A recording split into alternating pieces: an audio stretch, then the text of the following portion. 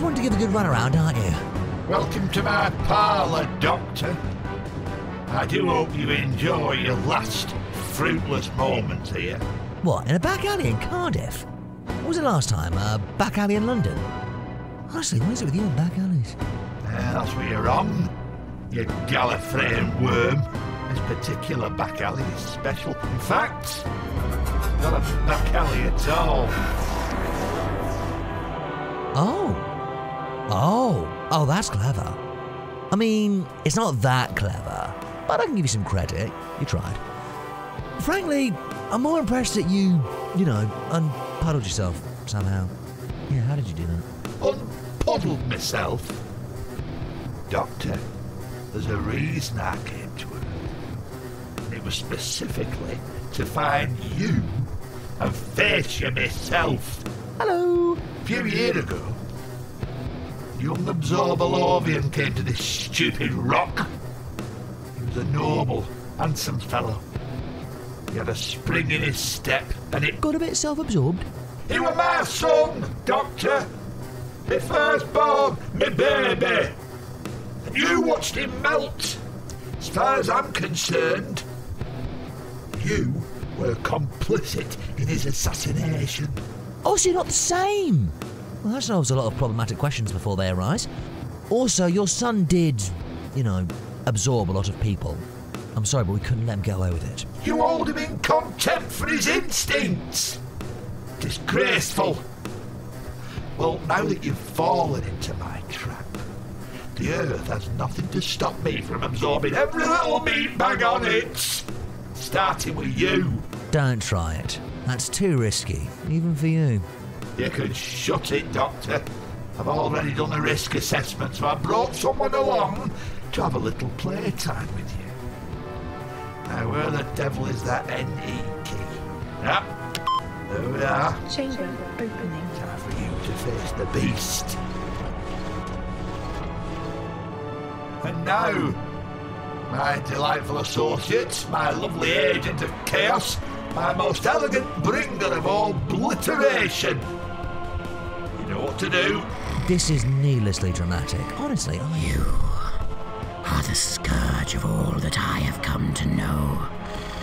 I can think of no more of a fitting fate for what I am about to unleash upon you.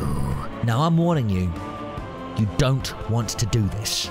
Oh, this is truly the end for you, Doctor. Revenge has never tasted so savoury.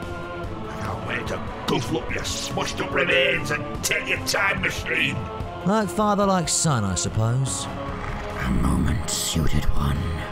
I wasn't talking to you. I'm not wearing the suit. Wait. Wait a moment. No, no! No! Oh, you melted him. That whining old fool has kept me waiting in that hole for three months, giving me nothing but baked beans and stale wheat, uh, wheat biscuits. Oh, and that overly diluted branded blackcurrant juice. Earth cuisine is just the worst. I know you're bitter about the menu, trust me, I know it isn't the best, but there was no need for that. I think we're done here. I do have a world to take over now. Somehow I don't think you do. What do you call yourself? I am the Krakanord. I am armed with deadly buzzsaws, capable of slicing through the hardest of materials. And I have an acid blaster. An acid blaster which I will use to obliterate the pathetic people of this puny planet. Blimey, that that is a bit. Uh... Anyway, I'm the Doctor, and if there's anything I dislike, it's people thinking they can take over this planet while I'm around.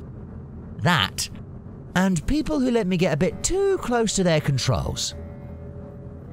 Transmat activated. Oh, for the love of monsters, what have you done? I've engaged the ship's reverse teleportation function.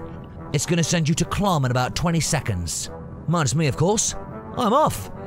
Should have told you not to let me too close to the NE key. Oh, and uh, say hi to Raxacoricofallapatorius for me. Don't think this will stop me, Doctor. I'll claim what I have rightfully earned. Soon enough. And I'll be waiting, as will so many of my friends. This planet is defended. Never forget